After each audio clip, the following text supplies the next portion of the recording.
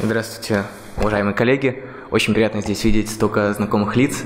Э, наши два маленьких клинических случая, они э, больше из реальной жизни. Мы здесь встречаемся на конференциях, обсуждаем очень интересные новые методики, но, к сожалению, они еще не везде внедрены, и проблемы есть буквально э, как бы на самых банальных вопросах. Значит, первый пациент, 58 лет, Э, жаловался на дизурию 6 месяцев. Э, при исследовании ПСА 9 нанограмм на миллилитр, э, пальцевое ректальное исследование без особ... особенностей. По месту жительства вы... выполнил биопсию простаты, и, значит, нам пришло такое заключение. Глисон 3 плюс 3 во втором, третьем и четвертом столбиках, а также глисон 2 плюс 2 в пятом и шестом столбике. И с этим диагнозом пациент встал в большую очередь на операцию, но поскольку он э, довольно сознательный, решил сам заняться своим лечением и попал к нам.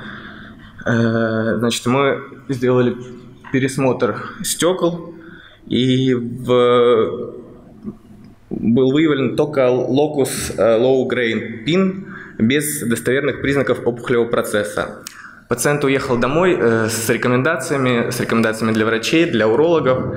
Э, ему сделали снова в апреле 2012 биопсию, и он как бы в страхе присылает нам э, заключение аденокарцинома 2 плюс 2 в двух столбиках, меня снова хотят оперировать. Вот. Это первый случай.